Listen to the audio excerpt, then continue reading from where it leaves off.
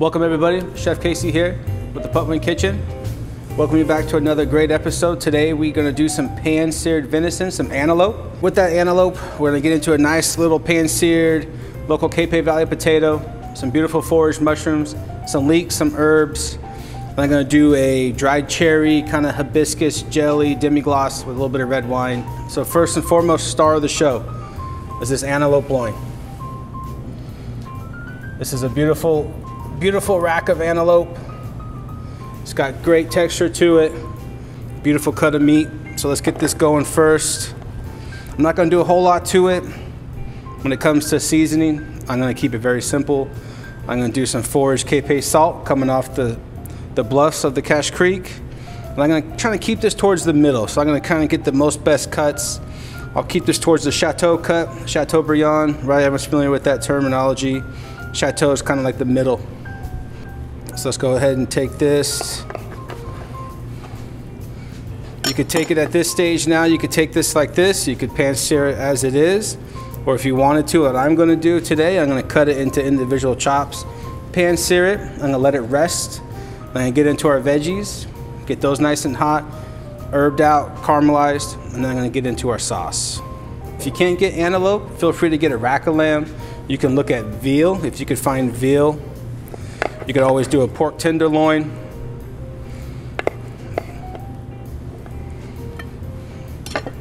This meat is incredibly beautiful. So let's get these kind of seasoned real quick. A little bit of salt. I'll be using olive oil today to pan sear.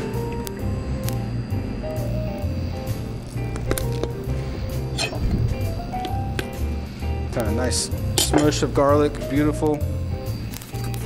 As you can see, our oil is starting to kind of slide on the pan, starting to glide over. You don't want it to smoke, but you kind of right, you want it right there on that precipice of smoking, not smoking. You want it nice and hot to get that sear. Always make sure your meat you're gonna sear is nice and dry. It's room temperature, it's not cold. The colder the meat is, the less reaction you're gonna get on the pan, the less crust you're gonna build. Hear that sizzle? That's what we want.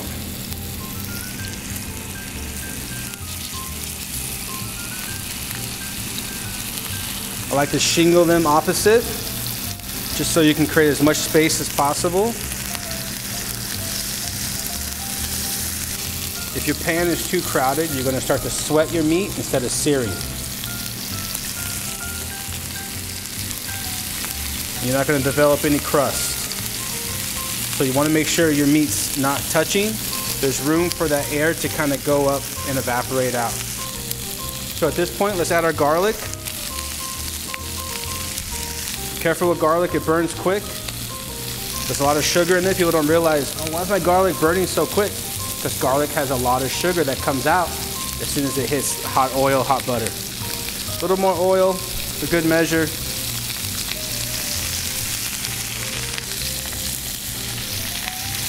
I'm just gonna let this sit. I'm not gonna do anything to it.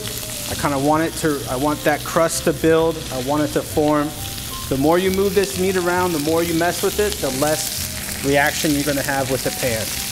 For this rack of venison, I would suggest a, a rare to medium rare, like a rare medium. So at this point, I'd probably do a little bit more oil, just on the side, more for the garlic, because you want oil now to start basting. And you're gonna infuse this oil with the garlic, the rosemary. Just be careful when you add herbs to hot oil, it'll pop on you. Why? Because there's a lot of moisture. There's water in those herbs that the hot oil is forcing it to come out. Beautiful crust.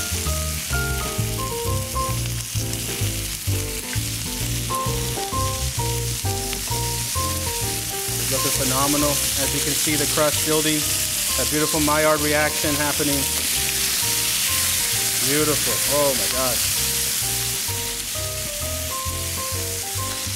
And we'll just start basting.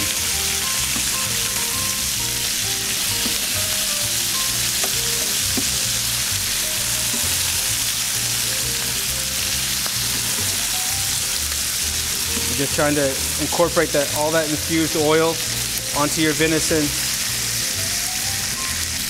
So now my meat's looking pretty good. At this point in time, I kind of want to have a vessel for it. I want to be able to put it somewhere where I know it's going to be able to rest. You could use a wire rack, of course.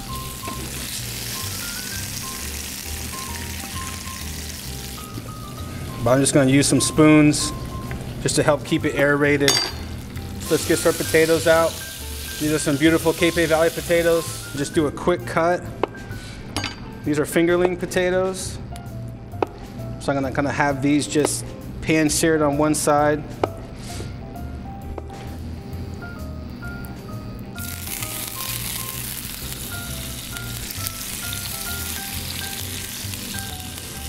Right, beautiful hot oil, beautiful potato, olive oil potatoes, they love each other.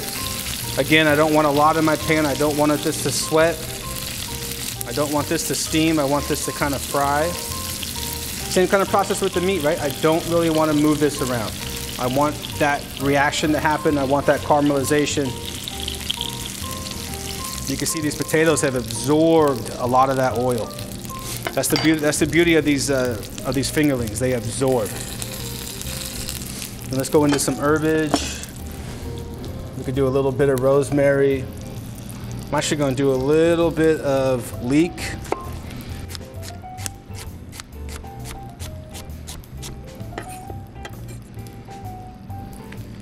So now we're just gonna bury these potatoes with aromatics. I'm gonna come back to that garlic that we roasted off with the venison. I'm gonna chop this up. We'll add some fresh, fresh rosemary. Take a look at it, maybe a little more oil. Just to help those leeks saute.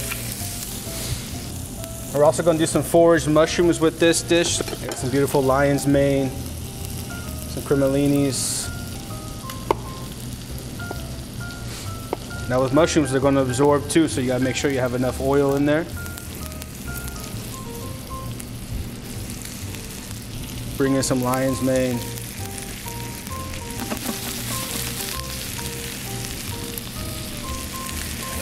Careful with your leeks. Leeks will burn just like garlic.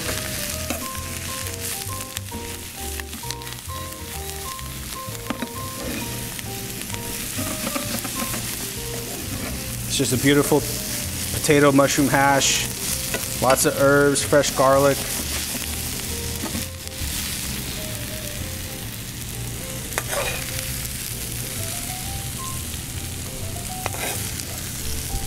So like you said, you want to have, let this sit for a little bit. Let those mushrooms kind of rehydrate, reconstitute. Now that we have our venison rack resting, Looks beautiful. Let's dive into this cherry leek sauce. Get our pan nice and hot. We'll start sauteing some shallot, a little bit of dried cherry together. While this is getting heated up, we're gonna get our wine ready, a little bit of red wine. If you don't have red wine, you could use maybe like a port or sort some type of sherry. I'm gonna add a little bit of cherry juice.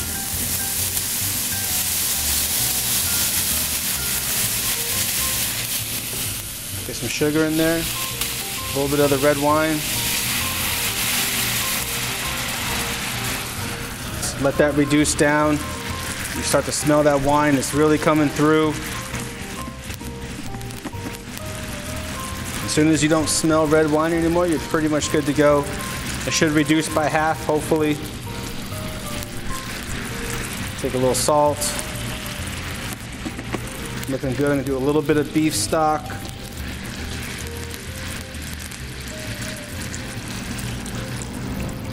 just a tad bit. Let that simmer a couple minutes. You want this to reduce. You want this to be sort of on the thicker side, like a very, not as thick as gravy, but just a little bit less. I add a little bit of my hibiscus marmalade. It's just a little more sugar. This will help thicken it as well. You could use a cherry jam if you like. You could use a currant jam. You could use any type of jam. I would stay away from like a strawberry, but blueberry, blackberry, you'd probably be okay. I'm actually gonna make a little cornstarch slurry. This cornstarch is gonna help just thicken the sauce if you're making a big batch of it. Just make sure you want this to be on the boil because it'll thicken real fast.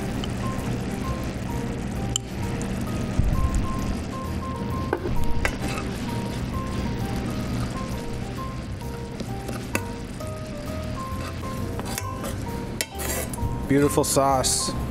We can come back over to our meat. And then we can just make sure that we have the cherries, the shallots, the red wine. Nice, beautiful mixture. I'm gonna come back and garnish with some pickled, a little bit of pickled cherry. And then we can come into some chive. Very simple, extremely rustic, but there you have it. Pan-seared venison, beautiful Capay Valley potatoes, foraged mushrooms, a beautiful sauce you can make at home. Thank you for joining me today at the Putman Kitchen. Chef Casey, thank you very much.